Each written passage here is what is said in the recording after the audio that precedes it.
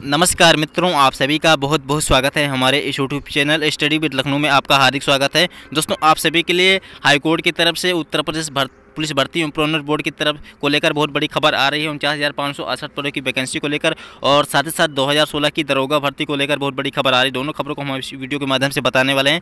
तो इस वीडियो को शुरू से अंत तक ज़रूर देखिएगा और साथ ही साथ चैनल पर नए तो हमारे चैनल को सब्सक्राइब करके बेलाइकन को ज़रूर दबा दीजिएगा, जिससे कि आप हमारी नई वीडियो का नोटिफिकेशन सबसे पहले पा सकें। ठीक है साथियों?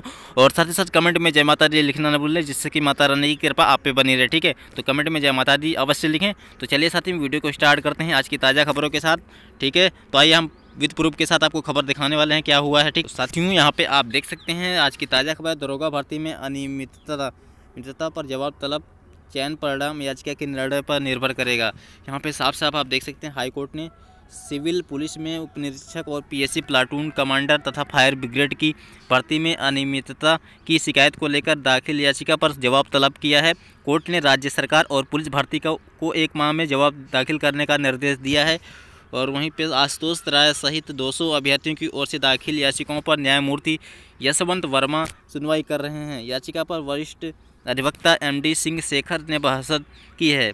याचिका में कहा गया है कि 2016 में पुलिस भर्ती बोर्ड ने विज्ञापन विज्ञापन निकाला था, लेकिन परीक्षा में 50 प्रतिशत अंक वाले अभ्यर्थियों को ही शारीरिक दक्षता परीक्षा में बुलाया जाना था। याचिका भी शारीरिक दक्षता के लिए बुलाए गए।